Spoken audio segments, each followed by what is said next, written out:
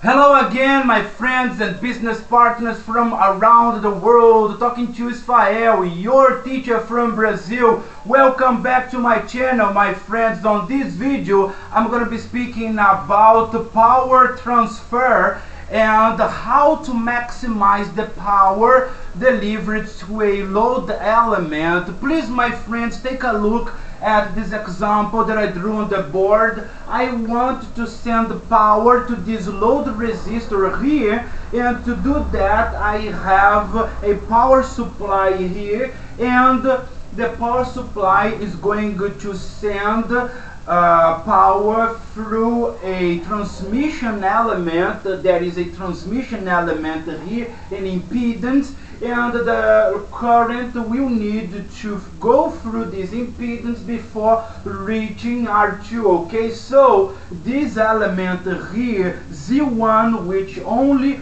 uh, represent the transmission element is going to influence the circuit okay it, it, is not our main objective our main objective is to send power to this load resistor here but we have an impedance here that's going to influence the way the power is going to be sent to the load resistor R2. Then what we need to do is based on the parameters that we have here, we want to maximize the power that we are going to send to the load resistor R2, okay? My friends, before understanding how to maximize power transfer, we need to understand the power that we are going to send to this load resistor. The power is simply P is going to be simply equal to R2 times I squared.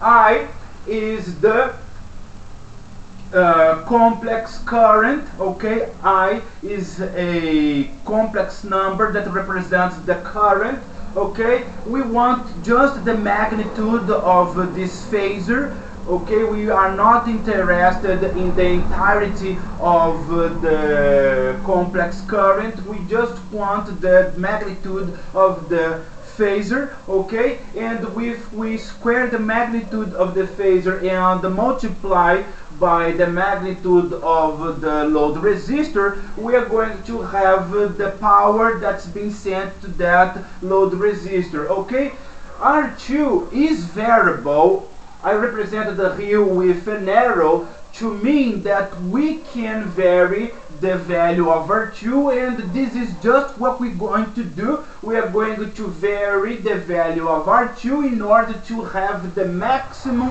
power transfer based on the parameters of the circuit. But before doing that, we need to understand the power that we are going to send this. We are going to have a general representation of this power that we send into the load resistor okay we can simplify this thing further here and we are going to arrive at an expression that's going to be like this okay current is simply the division between the voltage the voltage of this voltage source here and the resistances here R1 plus R2 and the reactance. Alright and then we are going to square it because we want we need to square here the current in order to get the power. And this term here E divided by R1 plus R2 plus JX1 is equal to the current okay here we, we have a problem. We have an imaginary number here in the denominator. But we are going to make it vanish. And how can we do that? Take a look. Uh, understand that the magnitude of a complex number, the magnitude of a complex number is, is let's suppose, let's call it z. The magnitude of the complex number is equal to the square root square root of a squared plus b squared. Okay this is the magnitude of this complex number here. And if we want to square this guy if we want to square it then what we're left with is only with the uh, a squared plus b squared. Then this is what we're going to apply here to get rid of this imaginary number here alright? So my friends this is what we are going to do here and we are left with R2 times the magnitude of the voltage divided by divided by R1 plus R2 squared plus x1 squared. Did you understand this step? Did you understand why this is going to be the power? Okay, because we have to square it here. And when we square a complex number, what uh, we have left is the magnitude of the real power and the magnitude of the imaginary uh, the magnitude of the real number and the magnitude of the imaginary number both squared. Okay so my friends to finish with our approach what we need to do is to understand what what it means. What does it mean to maximize something? Take a look at this function here okay? Everybody knows a function, uh, a quadratic equation, here a quadratic function, and what is the maximum point of this quadratic equation? The maximum point is the vertex, okay, isn't it? It's the zenith of the parabola, and then this is the maximum point of this function. And here, exactly here, exactly in this point, the derivative of the function with respect to this element here is exactly zero, okay? So we are going to use this result here in order to calculate what we want. And what we want is to set our to set this, we are going to vary, we are going to take the derivative of the power that we are sending to this load resistor with respect to this load resistor because this is the only variable of the problem. This is the only uh, element that can vary. Then we are going to take the derivative of the power with respect to R2 and we are going to set it to be zero because we know when the derivative is zero we have a maximum. We have a zenith. Okay, so if the derivative of uh, P with respect to R2 is zero, then we know that we have reached the maximum point okay then what we need to do is to take the derivative of this uh, result here okay the derivative of that result is gonna be r1 plus r2 uh, squared plus x1 squared. It's the denominator the denominator times the derivative of the numerator which is gonna be 2 times e squared. No no. It's gonna be this. We are we are taking the derivative with respect to r2 then what's going to be left is only was only this okay minus okay it's gonna be uh, the denominator times the derivative of the denominator minus the nominator times the derivative of the denominator. The derivative of the denominator is simply 2r2 plus r1.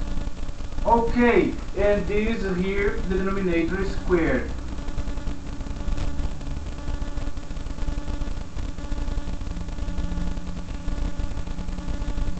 Did you guys know how to do that?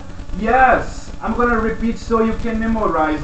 This derivative here is the denominator times the derivative of the denominator minus the uh, nominator times the derivative of the denominator divided by the denominator squared.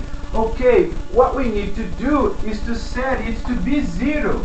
We need to set it all to zero, okay? We set it to be zero we don't need to worry with the denominator here because if we have 0 here then the, uh, the power can explode to infinity. We do not wish that okay? We wish this to be 0 okay? So for the the ratio, the, the derivative of the power with respect to the load resistor to not go to infinity, we, we're not going to worry with the denominator, we're going to worry only with the denominator. If the denominator is zero, then we can guarantee that this derivative is going to be zero as well, okay? Alright, uh, we can we can uh, factor out E2 here squared. Can you see that? Can you see that that we can factor out E2 here because we have E2 here uh, both sides, okay? Uh, e squared, E squared, we have both sides, we can factor out, and then we're going to pay attention only what's here and what's there, okay? If we develop this, we're gonna have r1 squared plus 2 times r1 plus r2 plus r2 squared plus x1 squared minus 2 times r2 squared plus minus minus not plus minus minus 2 times r1 times r2 and this has to be equal to zero. Okay, my friends, we can promptly see that we can cut this with this, okay, and we are left with this expression here. r1 squared plus x1 squared is going to be equal to, I have uh, minus 2 r2 squared 1 r2 squared is going to be equal to minus r1 squared and then it's going to be equal to 0 we pass this to the other side of the equation okay? It's gonna be uh, r uh, here r2 sorry r2 r1 squared plus x1 squared will be equal to r2 squared okay? Are you understanding what I'm doing? Okay? And then we can pass it to this and we have reached the final expression. r2 has to be equal to r1 plus x1 squared squared and the square root of them. When this is our result this is our result. When r2 is equal to the square root of r1 squared plus x1 squared, then we have maximized the power that is delivered to the load resistor. But you see that this is exactly this. Z1 is the magnitude of uh, this uh, complex number here. Then our final result is going to be R2 has to be equal to the magnitude of this element here. We have a transmission element here that's going to be between your power supply and your load element to maximize the power to maximize the power that we need to deliver to this load element this load element here has to be equal to the magnitude of this complex number here okay so my friends this was the result that I wanted to show you guys. I hope you my friends enjoyed my video. Goodbye